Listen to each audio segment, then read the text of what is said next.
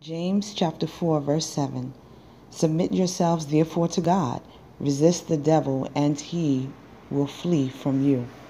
I like to share this little piece of information because I notice a lot of people um, repeating things that they're taught to say in church. Oh, the devil's defeated. I'm going to give him a black eye, and there's nothing that he could do to me because God's got my back, and you know, all these catchy sayings, and the devil should have got me and killed me while he could, and now it's too late, and all of this, all of these catchy things um, that we're taught to say. We're taught, oh, you know, sometimes we're taught that we're Christians, and because we're Christians, we're protected from everything bad.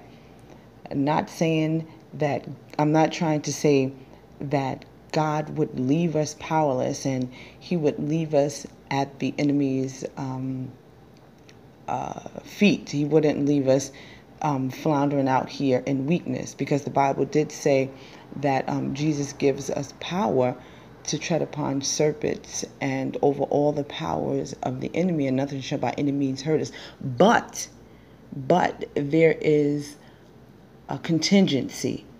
And the contingency is that in order for us to inf- defeat Satan, we must be submitted to God. A lot of us are not submitted to God. That's why we still have things in our life that are battling us that we can't get over. We have people in our life that are giving us a hard time. We have people on the job that are coming against us, and we can't seem to get through the problem. It seems that we're praying and it seems that we're fasting and it seems that we're crying out to God, but there just seems to be no answer. There seems to be no change in the situation. What we need to know is that we do have power as Christians and we do have power. Those who have taken on the name of Jesus Christ and have believed that he died for their sins and that Jesus was raised from the dead and those who have gotten the infilling of the Holy Spirit, we do have power.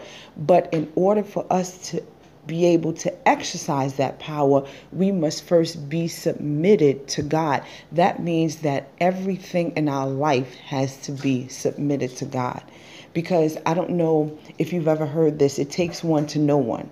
So if you have something in you that's not right, then when you try to go against something outside of your realm, outside of your body, and you try to rebuke something outside of your body that's demonic and is not right. So, for instance, if you have um, a child that's acting up and you try to go and rebuke him, you can't rebuke him when there's certain stuff in your character that has not been submitted to God because God has to rule every area of our life in order for um, in order for us to walk in the authority that we're supposed to have as Christians.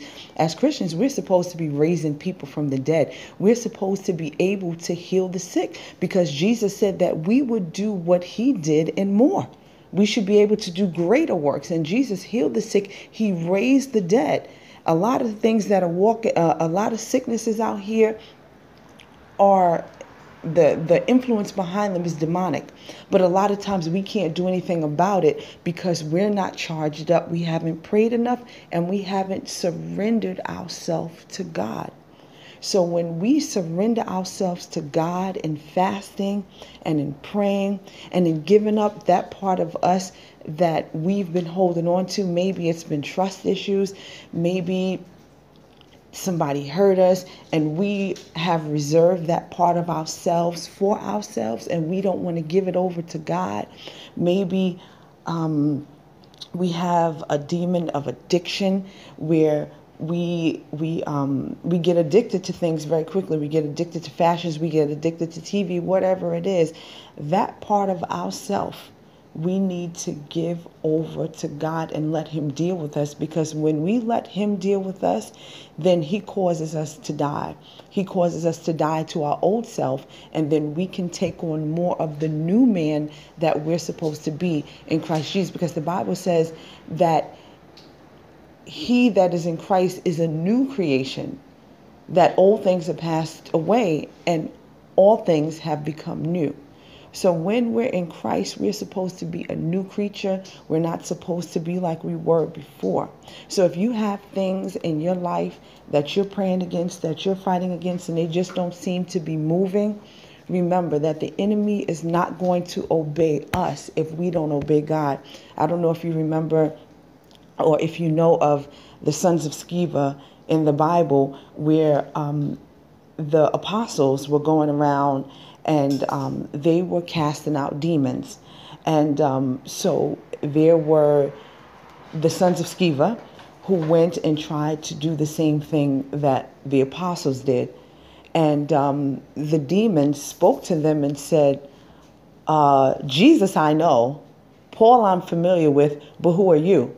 And then because the demons know who have authority or not. That's one thing we can't play with. So we have to submit ourselves under the authority of god because the enemy the devil is not scared of us but he's scared of the god that's in us. The bible says greater is he that is in me than he that is in the world. So what happened with the sons of sceva is they got their butt beat by the person that was possessed with the demons. The demons gave the person supernatural strength and they got their butt beat and their clothes ripped off of their bodies because they tried to mess in a territory and and um, they weren't qualified to go there.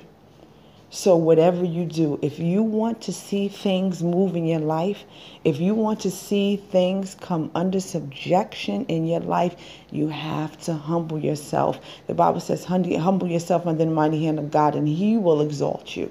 So, humble yourself, get down on your knees and pray. Tell God about it. Submit yourself and your life to God's authority. The Bible says that we're supposed to present our bodies a living sacrifice, holy and acceptable unto God, which is our reasonable service. So present your body to Him, present your members to Him, present your mind to Him, and submit yourself unto His mighty hand. And you, once you resist the devil, after fulfilling all those requirements, he will flee. He'll flee for a season and he'll come back. But the point is, he'll flee and you'll see some movement in your situations. Be blessed.